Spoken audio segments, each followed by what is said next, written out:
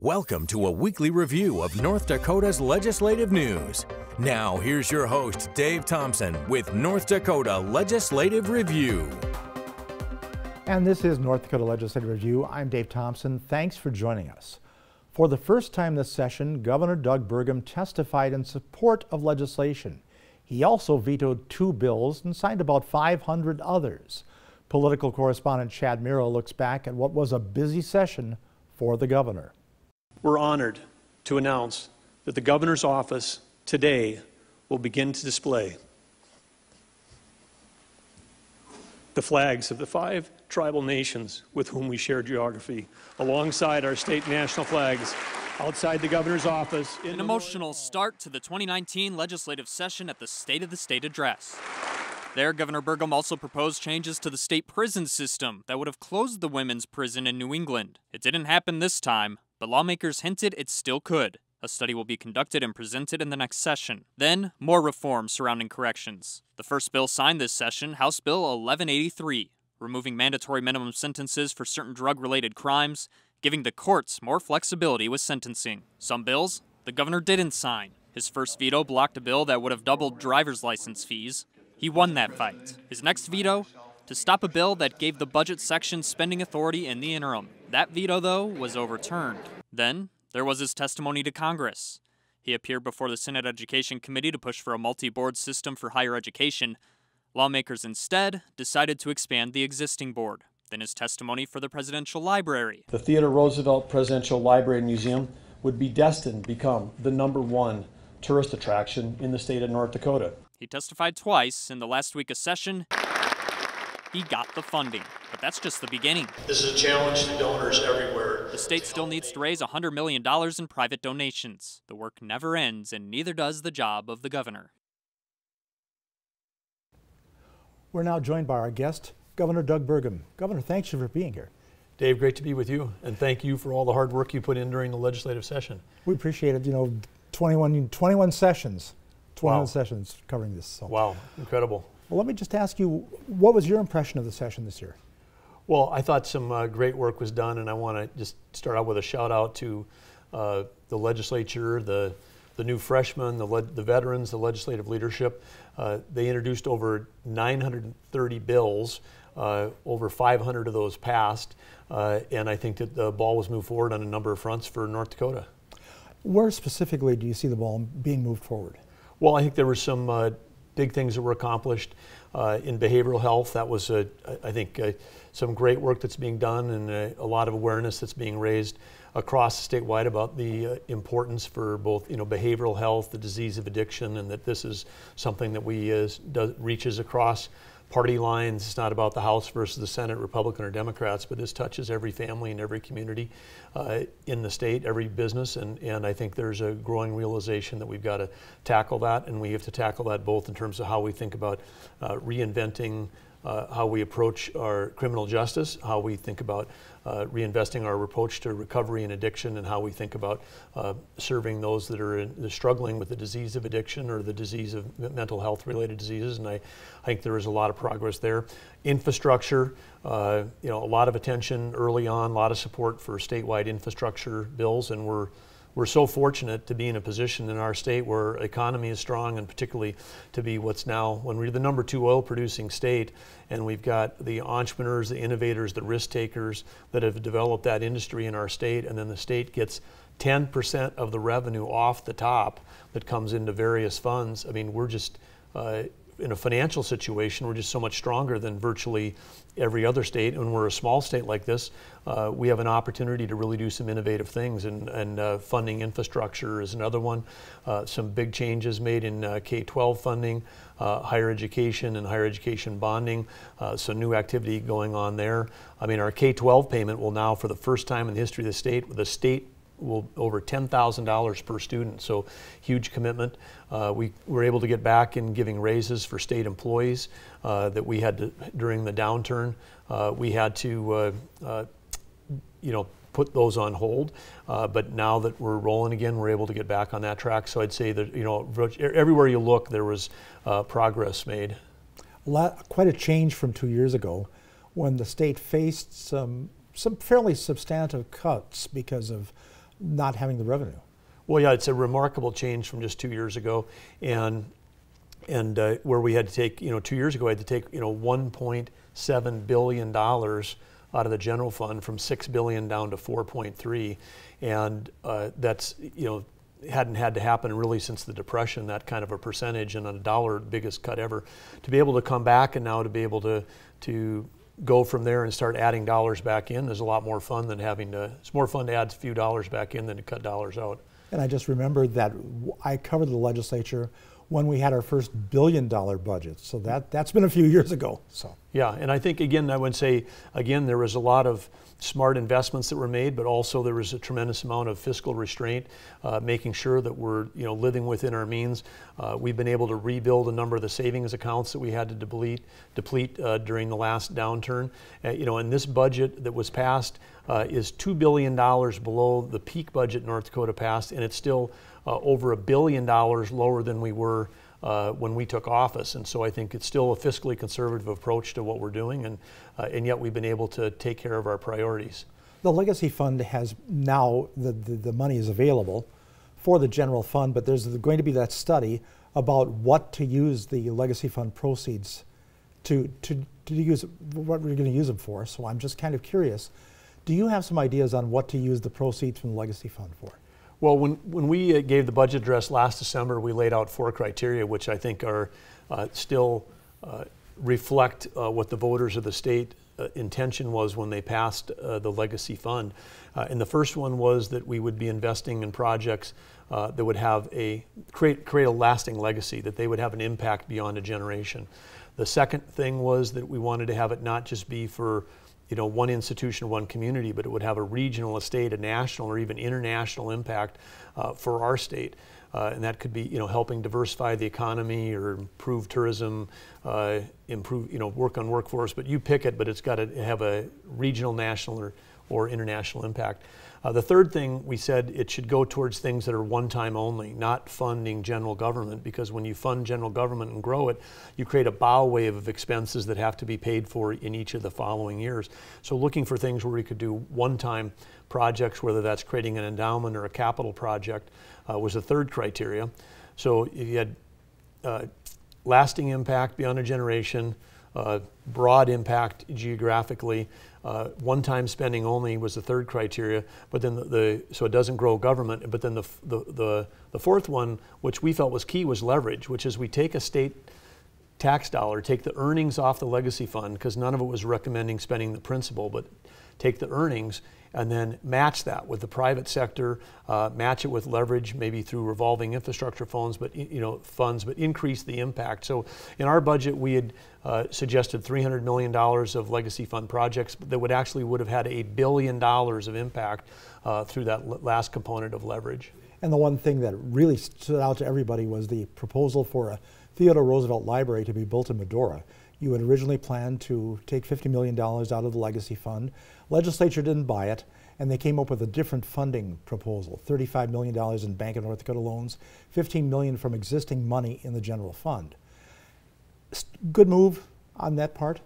Well, I think there's a, uh, two things. One is I, I want to quote a majority leader from the Senate, Rich Wardner, who said, no matter how you cut it, this is a legacy project. I think he's absolutely right because this project, the Theodore Roosevelt Presidential Library and Museum, meets all four of those criteria.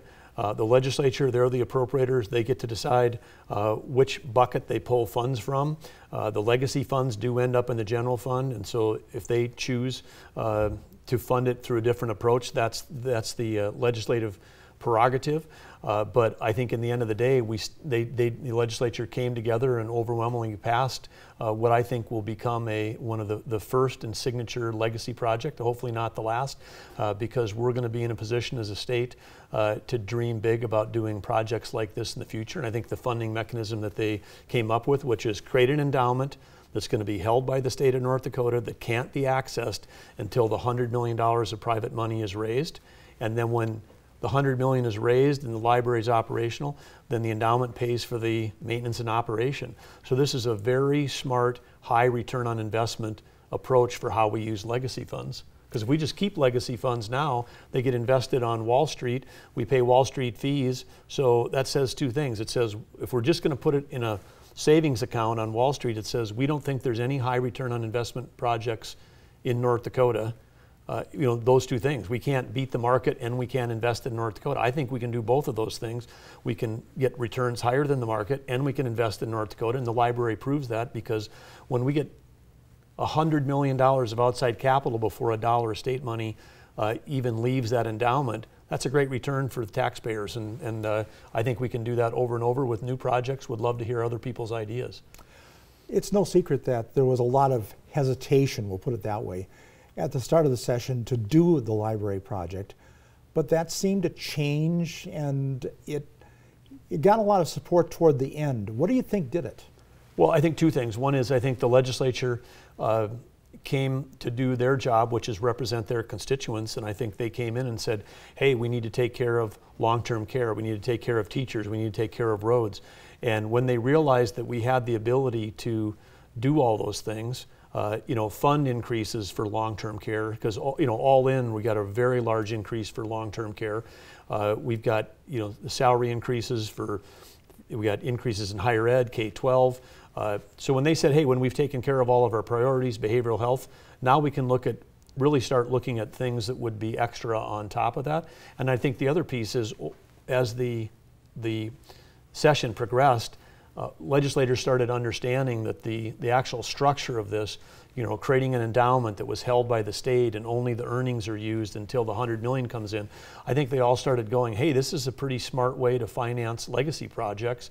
And I think that uh, some of it was the project and some of it was the structure of the deal that was created by the legislature.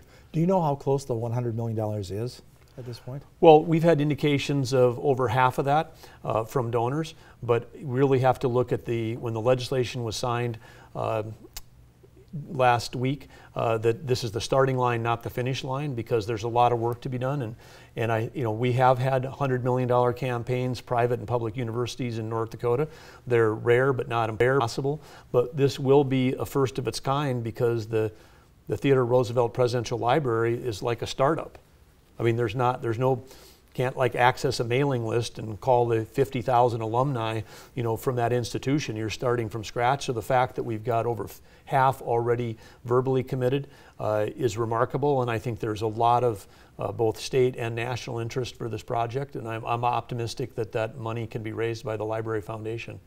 Now, one of the things that you proposed early in the session was to move people, the women out of the uh, New England facility to Bismarck, move the Bismarck people over to Jamestown, and put them in the existing state hospital, build a new state hospital. The legislature didn't go that far. However, there's going to be a two-year study, and they're going to fund it with $400,000, finding some consultants to look at the whole correction system. Is that acceptable to you? Well, I, I think it's a, a, positive step in the right direction uh, because we have a, a, a duty uh, at, at the state uh, when people are uh, incarcerated, when we have residents that are part of our, our system, uh, we're responsible for their, for their health care, for their feeding. Uh, we also should be concerned about their uh, opportunities for education, for their, uh, for their recovery, because so many of the people that are in the correction system suffer from the disease of addiction and possibly other uh, health issues. And so uh, it's, it's important because you know our, the system, which we spend hundreds and hundreds of millions of dollars on, uh, should be about how do we make better neighbors, not better prisoners. And it should not at all be about the government jobs associated with that. It shouldn't be about, uh, we shouldn't be fighting for a prison in a community the way we fight for you know, a university because it's not, it's not the job of government to create corrections job. It's our job is to, to focus on the R, the, the Department of Corrections and Rehabilitation. And, we, and so I think it's fantastic that they're doing a, a study to look at the entire system to see if there's a way where we can do this better and more efficiently. When I've had an opportunity to meet with the leaders from other states, uh, like the uh, the woman that leads the corrections in Michigan or the leader that with the new governor in Florida uh, as part of recently when the First Lady and I were at the White House relative to the First Step Act, which was federal legislation that's reinventing the way the federal government is doing the federal prison system. Uh, you know, they're closely tying vocational education to the to the prison locations. So you, in Michigan, they have called vocational villages, where if someone is uh, incarcerated, uh, then when they're coming out, they've got a trade. We, we've got 30,000 jobs open in our state, and one of the reasons that people end up back in prison after they come out is because the discrimination that we put against someone with a felony, because we discriminate against where they can live, we discriminate. Uh, uh, uh, you know, sometimes on employment in terms of how we approach employment. Uh, so they, we take someone who's already paid their debt to society completely, and then we put a bunch of barriers in front of them uh, that for any of us might be hard uh, to overcome to try to get back into being a positive contributing member of society and then they end up back in the system. And when they're in our system incarcerated it's $41000 a year I say we could we could be sending them all to a private university for less money than that. And so uh, you know so again other states uh, you know are taking an approach where if someone's going to be in prison for the next four years, give them a counselor like you would a freshman in college, and make sure that four years later when they're leaving prison that they've actually essentially have a uh, a trade or a degree or a certificate so that they have a chance of, of becoming a contributing member, reuniting with their family. Uh, so I think there's a lot of work we can do there, and this is the, not only the right thing to do, it also saves taxpayer money. So it's beyond bricks, mortar, and punishment. It's removing the barriers, and I suppose that's that's the real challenge. Well, it is because it's not just about a physical facility where someone's incarcerated. It's about all the wraparound services uh, that that we need to do to, to support those people as they're while they're in uh, that while they're in our care and while they're in the system, and how do we when we get them out to make sure they don't come back. Were there any big disappointments, things that you'd like to see the legislature have done that they came up short on? Well, I think we had a big opportunity, even right up to the last day, uh, to do to deliver on-time funding for K-12. Uh, you know, there's a tremendous uh, K-12 education bill with a number of advances that are in it. Uh, but right now, uh, we pay on a year lag. So any of our places where we've got growing students are across the state, which is also the places where our fastest growing communities, which is also the places where we've got the most job openings, which is where we've got to get families to move to, sometimes from out of state. When they're thinking about taking a job in North Dakota, they check on you know, how, how's the school district doing? And we're, we're essentially handicapping all of our high growth school districts when we don't pay them for the students that are there. And in some cases, the growth is extreme, whether it's I call the three W's, Williston, Watford City, and West Fargo, uh, you know, 300, 330, 460 new students. I mean, that's more than an entire school district showing up in the fall. You know, this last fall, more than an entire school district showed up. We have 100 school districts with less than 250 people.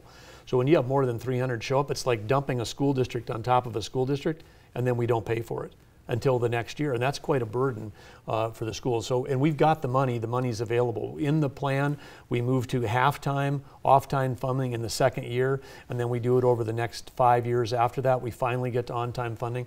Uh, this is something I'd love to see the legislature pick up when they come back in two years and say, let's just get to on-time funding now and take care of take care of the students that are there. So they took baby steps when they could have taken more strides. Perhaps. Yes, yeah, and, and I want to say too that sometimes the resistance in the past to on-time funding is if you move when the cash is paid for the students up, well, that means that people that were declining would get less. But this, we have uh, tens of millions of dollars now approaching $50 million in the budget for uh, basically hold harmless safeguard payments for the for the schools that are declining. So we're spending $50 million on the schools that are declining, but we missed the chance to spend $27 million this year on the schools that are growing.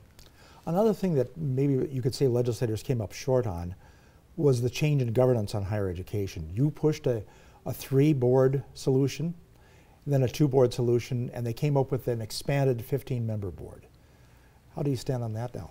Well, ultimately, this is going to be up to the citizens to decide because any change in higher education governance has to be decided at the ballot box. So uh, the voters will get a chance to get educated on this topic and, and vote in the fall, fall of 2020 on this topic. But uh, it's a, the whole purpose of the year long task force was to try to come up with a, an approach that would appreciate the, ch the challenges that are being brought by powerful forces, uh, economic forces, technological forces, demographic forces. Uh, these are all things that are pushing on the way higher education and education in general is delivered. And we have a 1938 model uh, that was created in our Constitution for a, a single board that's trying to manage, you know, seven person board plus one student member managing enormous complexity. And everyone agreed that something had to be done. Uh, but doubling the size of the 1938 board is not going to, in my mind, it's not going to help any more than if you took a school board uh, that was challenged by demographics, economics, and technology and said, oh, I have a solution, we'll double the size of your local school board and it'll make it all better. No, that's not going to solve the problem for the institution. So, so we're um, you know, that debate, I guess, will continue and the citizens get to participate in it. But my real concern is, is how do we make sure that we as a state, when we spend over $2 billion on higher education, how do we make sure that we're investing that dollars and providing the governance in a way where we can have, you know, great education for everybody involved in higher education, but how do we do it in a way where we're, we're being uh, efficient with taxpayer dollars in a world where, in a world where uh, you can basically achieve um, knowledge transfer and learning sort of anytime, any place on any device. It's no longer combined, confined to a campus. Uh, and I'm sure we got many listeners today that are taking online classes and they're taking online classes from institutions that aren't in North Dakota. And so the, the idea that a uh, that our state boundary protects us somehow when we think about higher education is just a fallacy because uh, those those boundaries uh, they don't exist in the, in the world that we're entering. I've heard some whispering that somebody might bring up a const, uh, their own measure uh, concerning governance, that it might be a two or three board measure. Have you heard anything about that? Have you been asked to be involved in anything like that? I've not been asked to be involved in it, but of course we had a lot of people that were interested in that, that that were either on the task force or coming to task force meetings, and so not surprising that there are people that have interest there, but it's uh, uh, that would be something organic that would uh, uh, come from the, you know, come from, from the, the grassroots, yeah, perhaps, yeah. yeah. And do you you vetoed a couple of bills? Are, are there any vetoes on your on your desk right now? Well, we get uh, as you, as you know, uh, we just uh, session wrapped up last Friday night after 10 p.m. 53 bills were delivered, including most appropriation bills, were delivered to to my desk, uh, you know, over the weekend. Uh, we had Secretary Perdue was here with Senator Hoeven, Senator Cramer was busy with them on Saturday. We were back to work on Monday, and my team has uh, been at the office past midnight, uh, both Monday and Tuesday, going through those 53 bills, and uh, we'll uh, ha have to see what what the future holds in terms of if there's more vetoes.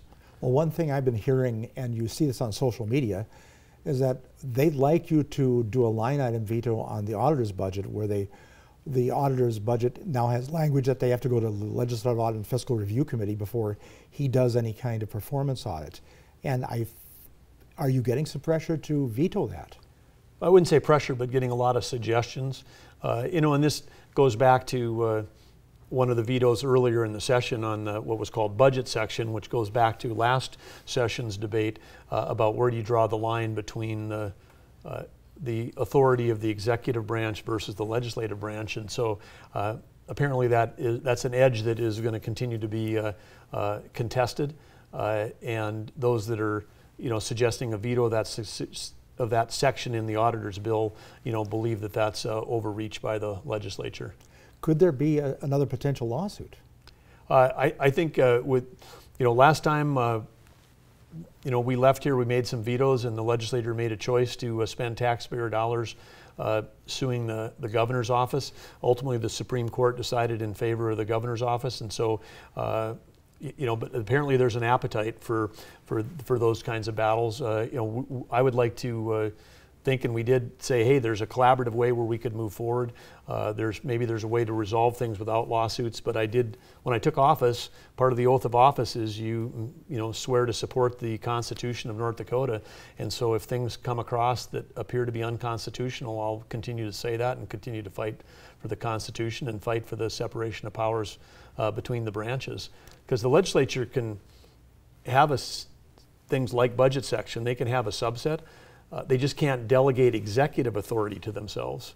and and then the part which makes me always smile on this is that some of the things that we're fighting over, uh, you know, in the end of the day, we got a 14.6 billion dollar budget for the for the state to run on, and the legislature feels apparently comfortable on 99.9% of it that the executive branch uh, that they can hold us accountable for how we execute till they come back. But on one tenth of 1% ends up in the budget section where they want to be the executive branch of that last little piece of dollars. Uh, and in any accounting sense, that would be an immaterial portion. So um, I want to assure the, all the listeners out there that, uh, that on 99.9% of it, we're in agreement with the legislature and we're moving forward and doing our job of executing as the executive branch. Uh, but there seems to be some interesting, in, interesting constant for the uh, constitutional scholars. There's always going to be that last one tenth of 1% to, uh, to, uh, to maybe have a, a dialogue over. Okay, I've just got a few seconds left, so I have to ask the question.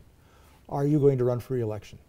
Well, right now we're focused on uh, doing the great job we can every day for the people of North Dakota and finishing showing up this session, and and uh, that that is a decision that'll have to be made in the next uh, six months or so, uh, looking ahead to 2020. But right now we're just focused on doing the job.